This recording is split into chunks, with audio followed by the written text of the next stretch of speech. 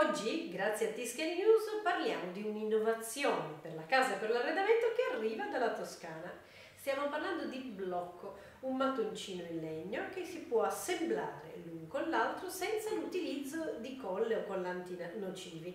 Infatti i mattoncini si avvitano, si possono avvitare, svitare, riutilizzare. Un'innovazione fantastica ed ecologica.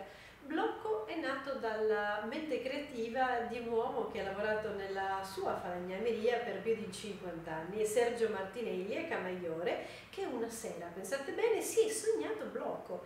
Al suo risveglio ha studiato, ha guardato su Google, ma poi dopo anni di ricerche è riuscito nel 2011 a brevettarlo.